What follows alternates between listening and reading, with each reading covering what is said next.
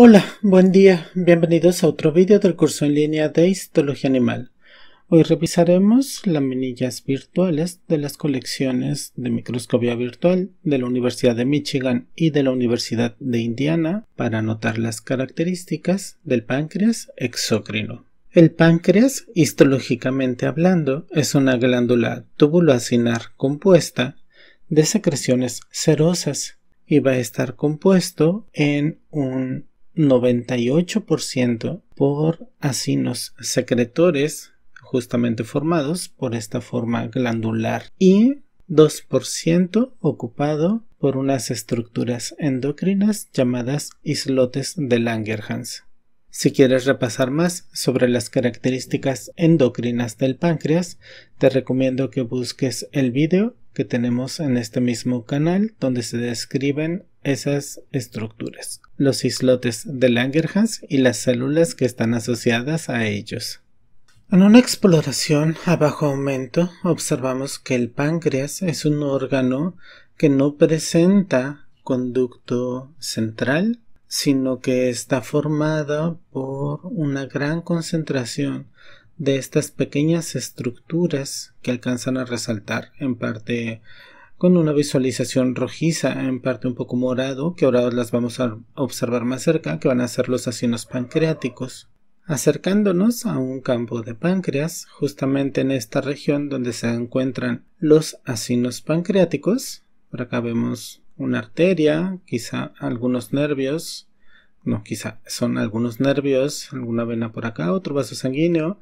Vemos un poco de tejido adiposo aquí junto al tejido conjuntivo, no puede ser normal. Vamos acercándonos a esta área.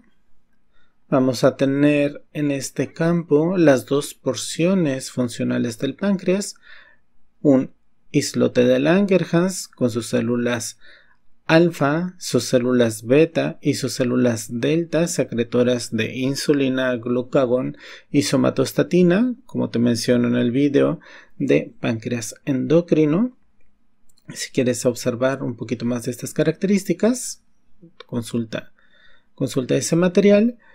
Y aquí a los lados, para darle mayor énfasis a la porción exocrina del páncreas, vamos a encontrar estas estructuras la mayoría de las veces se van a ver un poco irregulares, así como si no tuvieran una organización muy bien definida, pero conforme las vamos explorando vamos a notar que tienen esta conformación más o menos redondeada u ovalada, donde hay porciones de células más basófilas que están dirigidas hacia la parte más externa y unas regiones celulares con unos gránulos rojizos muy intensos que están observando hacia la parte central.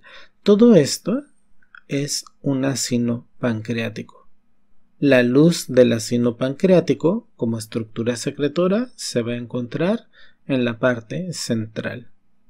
Este es otro acino pancreático.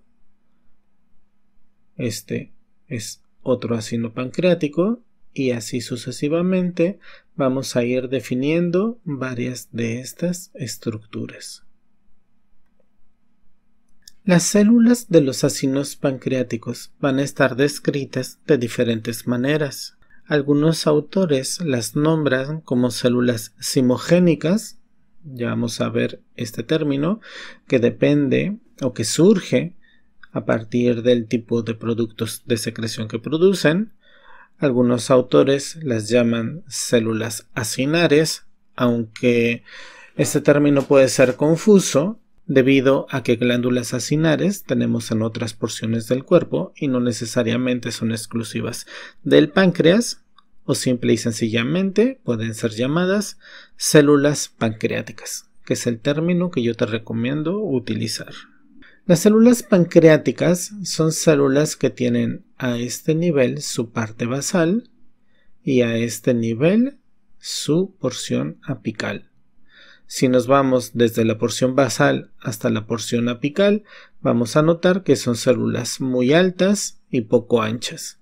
En realidad tienen forma cilíndrica. Aunque muchos autores dicen que en apreciación, especialmente en apreciación por cortes con microscopio electrónico, las células pancreáticas son un poco más anchas en la base y aunque sí son más altas, suelen adelgazarse un poco en su porción más apical y por esto algunas veces se menciona que pueden tener formas piramidales. Una característica especial que te debe de estar resaltando a simple vista y que quizá no lo has notado es esta doble diferencia de coloración en el citoplasma de las células pancreáticas. En ellas encontramos núcleos ocasionalmente granulosos, fíjate cómo muchos de ellos presentan un nucleolo más bien definido y muy evidente en los cortes histológicos, como este, como este o como estos que están por este lado, que el citoplasma del núcleo, no el citoplasma del núcleo, el citoplasma que se encuentra alrededor del núcleo en posición perinuclear, tiene una tinción y una afinidad más basófila en contraste con la porción superficial del citoplasma que está relleno de estas granulaciones rojizas. En la parte perinuclear de las células pancreáticas tenemos unas zonas basófilas más intensas y otra región también basófila pero un poco más clara, como es esta parte o como lo alcanzamos a notar por aquí. Esta región, que está más oscura, de un basófilo muy intenso perinuclear al núcleo de la célula pancreática, va a contener una gran cantidad de retículo endoplásmico rugoso, lo que le da esta afinidad de tinción tan basófila. Y esta porción que se ve un poco más clara, también con un tinte basófilo, pero con una tonalidad menos intensa, va a estar ocupada por aparato de Golgi. El aparato de Golgi va a envolver a las proteínas producidas por el retículo endoplásmico rugoso y las va a contener en un tipo de vesículas, en un tipo de vacuolas llamadas gránulos simógenos. Esos gránulos simógenos van a tener esta tinción rojiza. Una característica con la cual no te va a fallar la identificación del páncreas comparándolo con otras glándulas acinares del cuerpo es que mira, está el núcleo, el núcleo es basal, la célula viene desde aquí en su parte basal hasta esta luz en su porción apical, si te fijas es una célula muy alta, poco ancha, entonces es una célula cilíndrica con el citoplasma muy basófilo alrededor del núcleo y con granulaciones rojizas cerca de la luz. Las células del páncreas son las únicas que cuando forman acinos van a tener esta doble coloración tan resaltante y tan contrastante en su citoplasma. Si te acuerdas de los borradores que usamos durante nuestra edad escolar, que tienen una porción azulosa y otra porción rojiza o rosada, puedes hacer la analogía para acordarte de las características de tinción de las células pancreáticas, más basófilas en la región basal perinuclear, con su retículo endoplásmico rugoso o su aparato de Golgi, donde se ve un poco más claro este color morado, y la porción apical llena de gránulos simógenos muy acidófilos. Un doble color que por ejemplo no se observa en otra glándula que podría ser la más parecida en estructura al páncreas exócrino como las glándulas salivales. Una vez que te has familiarizado a determinar la forma de los acinos pancreáticos como este, como esta región donde la parte basal se encuentra hacia la porción externa del acino, aquí, o con estos núcleos que alrededor tienen citoplasma morado, y donde la región apical, la parte central del acino, está más rojiza. Cuando veas esta doble coloración y estés explorando una laminilla de páncreas, vas a ver que de repente te vas a encontrar que hay un asino pancreático, que aquí hay otro asino pancreático, aquí hay otro asino, aquí hay otro, aquí hay quizá uno o dos asinos grandes, a veces aparecen en esta forma alargada, porque recuerda que el páncreas está descrito como una glándula túbulo alveolar, entonces no es extraño que nos crucemos con porciones acinares más tubulares, más bien adenómeros en su porción más tubular, para ser más correctos, y que si le ponemos atención en algunos de los asinos pancreáticos, vamos a encontrar en su porción central, donde debería de estar la luz del asino, que como observas casi nunca se distingue con claridad en cortes histológicos, vamos a encontrar unas células como estas que se encuentran aquí, con un núcleo muy claro sin el nucleolo tan evidente que tenían las células pancreáticas y también con un citoplasma de un rosa muy pálido como este que está aquí. Y a estas células las vamos a llamar células centroacinares. Células centroacinares. Su nombre justamente define su posición en el centro de un acino pancreático no todos los acinos van a tener células centroacinares evidentes en un corte histológico. Quizá de las zonas que se alcanzan a distinguir en este campo, aquí vemos quizá un núcleo morado más pequeño que apenas se define con un poco de citoplasma rosado pálido, esta puede ser otra célula centroacinar. Vamos a explorar el tejido para ver si nos encontramos estas o algunas otras características del páncreas exócrino. Esta es la coloración y la posición donde esperaríamos encontrar células centroacinares, como este par de núcleos que se encuentran aquí. De color rojo, como te digo, están las granulaciones acidófilas de los gránulos simógenos, como estas o como estas. Los gránulos simógenos contienen enzimas digestivas del grupo de las peptidasas, como la tripsina o la quimotripsina, otros tripsinógenos, amilasas, lipasas y enzimas nucleotídicas del tipo de las ribonucleasas. Todas estas enzimas se van a encontrar mezcladas dentro de los gránulos simógenos, algunos en forma inactiva y algunas enzimas en formas ya activas y definitivas, esperando ser secretadas y llevadas hacia el duodeno. El destino primario de las secreciones de las células pancreáticas de todos estos gránulos hemógenos que se van a, liberar de manera merócrina van a llegar hacia el duodeno, justamente donde se recibe el contenido digestivo del alimento semidigerido que viene del píloro del estómago y sea que se va a combinar también con las secreciones de las glándulas de Brunner. Vamos a continuar explorando este corte de páncreas Aquí encontramos otras células centroacinares, granulos hemógenos, la parte perinuclear, una porción como ves aquí muy basófila con retículo endoplásmico rugoso y otra región basófila pero más clara que sería la región del aparato de Golgi. Continuamos explorando. Hay porciones donde es muy complicado encontrar la forma de los asinos pancreáticos.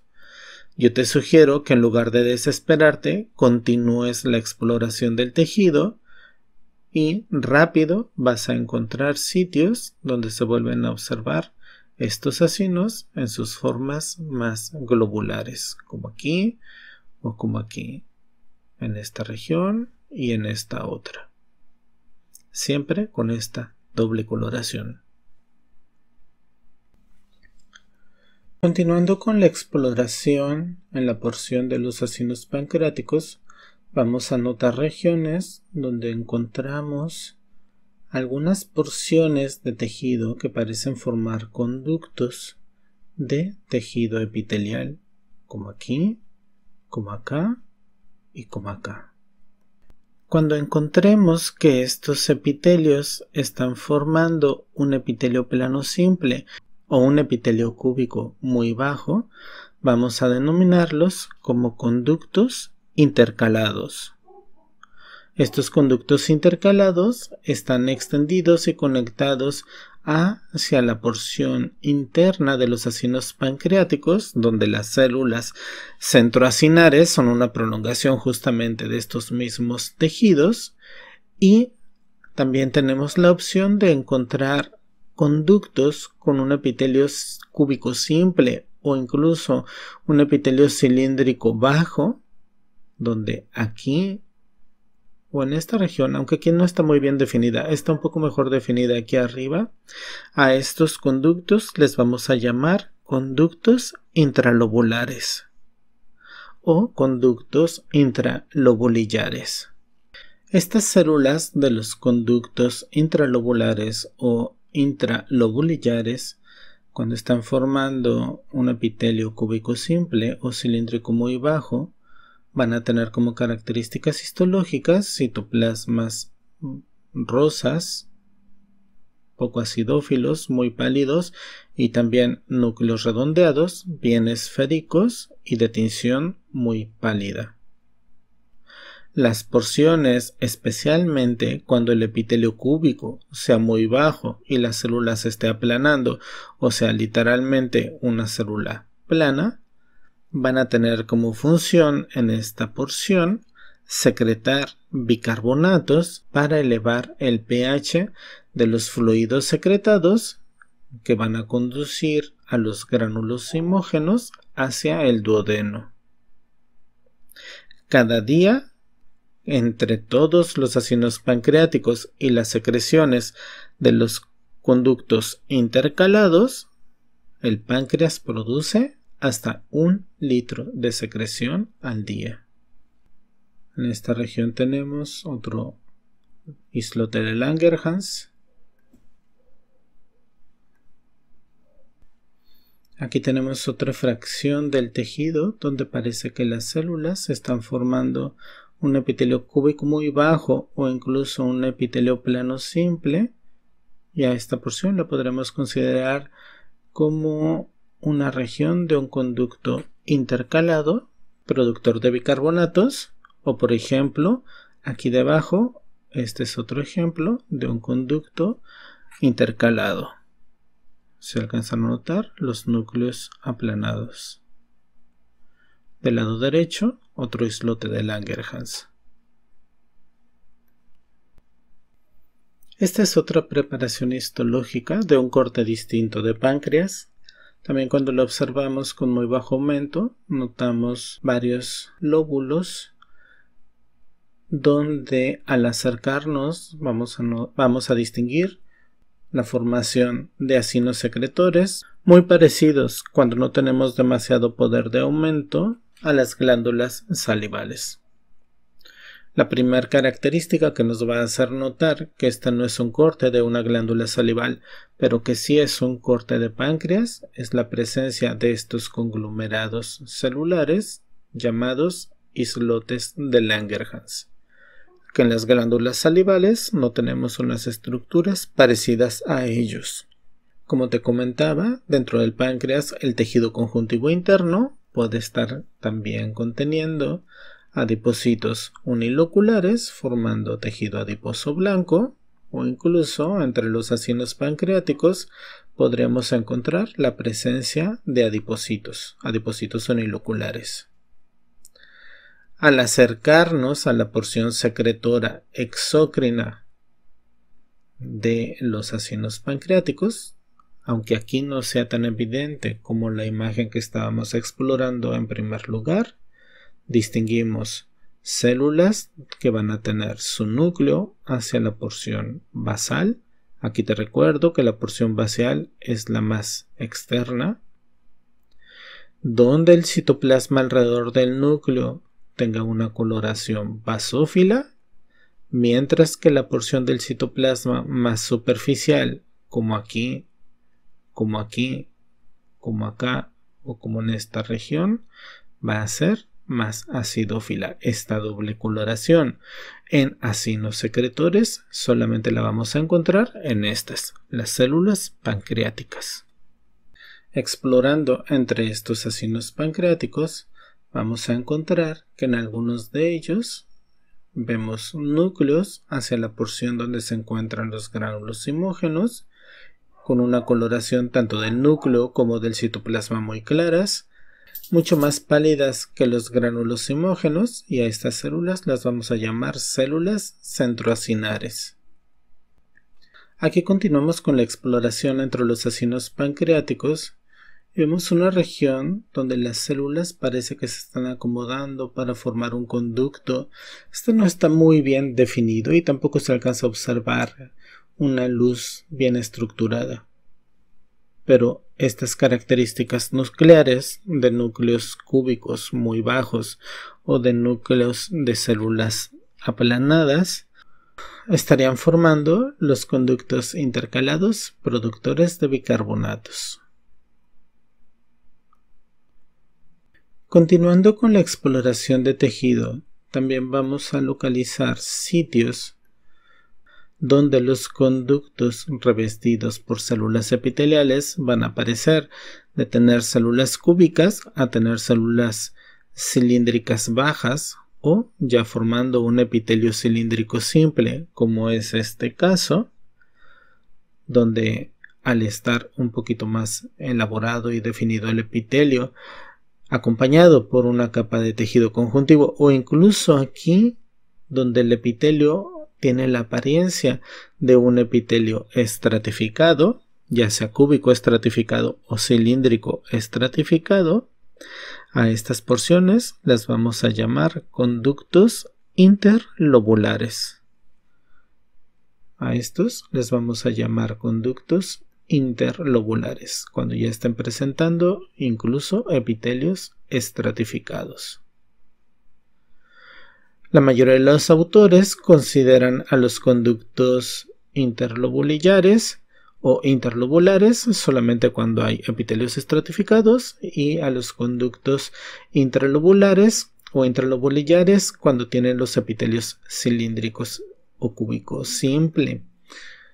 Pero la posición natural de los conductos intralobulillares se encuentra junto a los acinos pancreáticos y los conductos interlobulillares se encuentran acompañados por un poco de tejido conjuntivo como es el caso de este, de este o de este último conducto.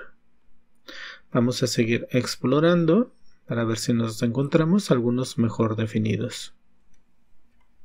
Aquí continuamos con la exploración de la zona de los acinos pancreáticos, un acino muy grande, células centroacinares de coloración muy pálida en citoplasma como en núcleo, células pancreáticas con una región basal más basófila y una región apical con los gránulos simógenos color rojizo, más acidófilos, si continuamos en esta dirección, vamos a encontrar un conducto formado por células epiteliales, aquí claramente formado por células, definiendo un epitelio cilíndrico simple, rodeado de tejido conjuntivo e incluso de algunas células de músculo liso. Este sería un conducto interlobular. Es normal que cuando los conductos interlobulares crezcan y se hagan más anchos, el epitelio puede llegar a estar estratificado. Aquí volvemos a encontrar otro conducto. Si te fijas, este no está rodeado de tejido conjuntivo y el tipo de epitelio que se encuentra bordeando a la luz va a ser un epitelio cúbico muy bajo, un cilíndrico muy bajo y a este lo vamos a considerar como un conducto intralobular o intralobulillar. ¿Sí? Rodeado de células pancreáticas, de acinos pancreáticos y no de tejido conjuntivo. intralobulillar. Mientras que cuando te estaba enseñando el conducto interlobulillar, veíamos que estos estaban bordeados, como en este caso, por una capa de tejido conjuntivo o incluso algunas células musculares. Aquí tenemos los dos ejemplos, un conducto intralobulillar y un conducto interlobulillar. Te recuerdo que este puede tener epitelios estratificados, cúbico o cilíndrico estratificado. Ya estamos un poco más familiarizados.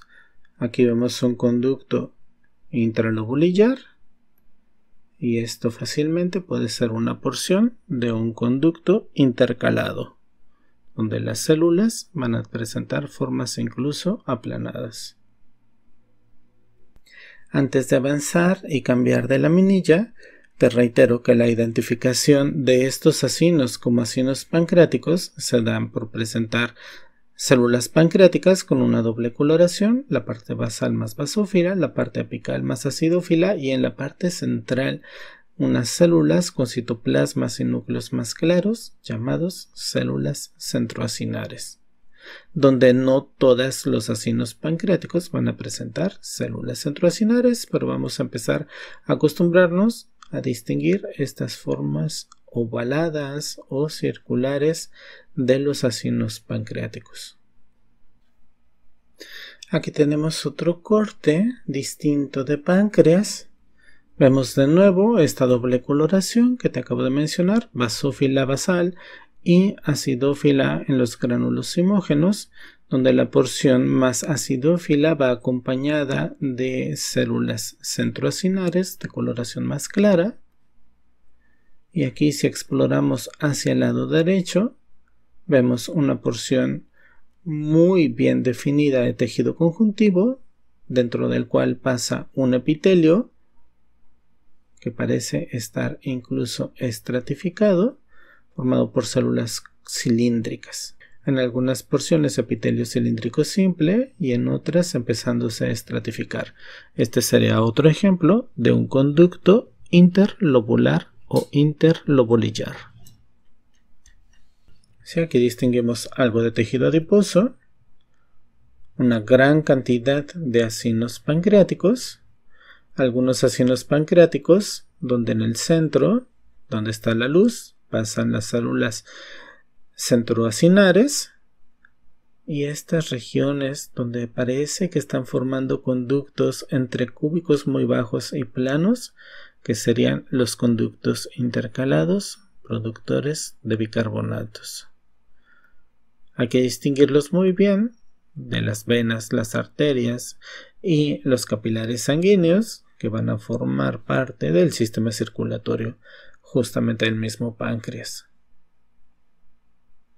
No hay que confundir los conductos con estos conglomerados celulares que están formando los islotes de Langerhans donde ninguna de las células que se encuentra aquí adentro del cuerpo del islote forma ningún tipo de epitelio y tampoco ningún tipo de conducto.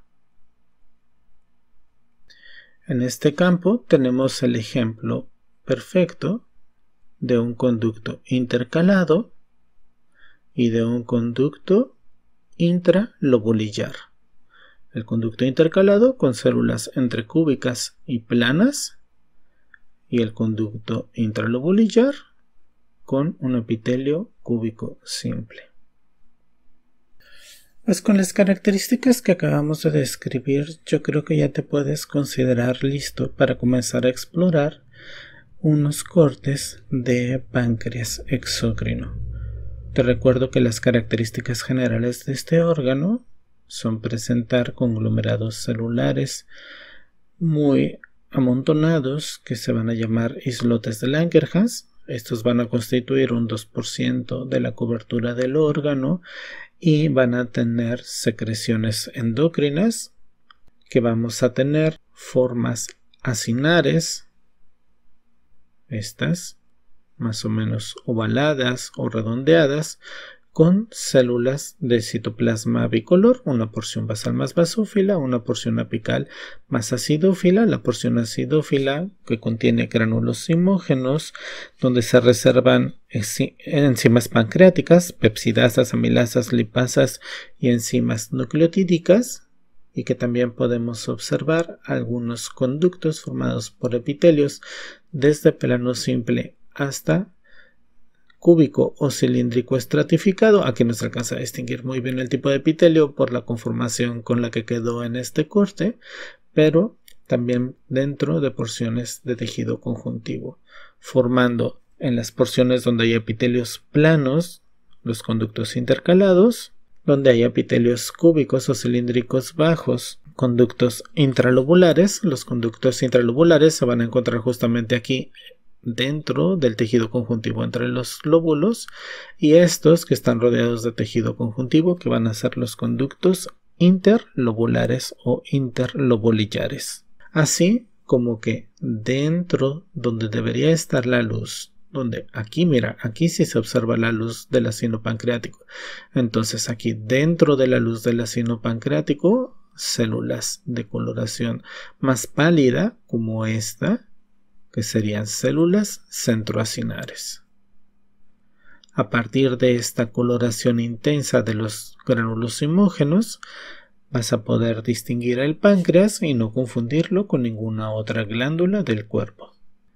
Y esto fue todo para este vídeo. Si quieres aprender más de este u otros contenidos, deja tus preguntas y recomendaciones en los comentarios. Para recibir más contenido de histología animal, suscríbanse a este canal y a nuestra página de Facebook donde se publica contenido original de nuestro trabajo. Si quieres apoyarnos directamente, tienes la facilidad de hacerlo a través de nuestra página en Patreon. Continúen repasando, estudiando otras fuentes y prepárense para lo que les muestre el microscopio. Nos vemos luego.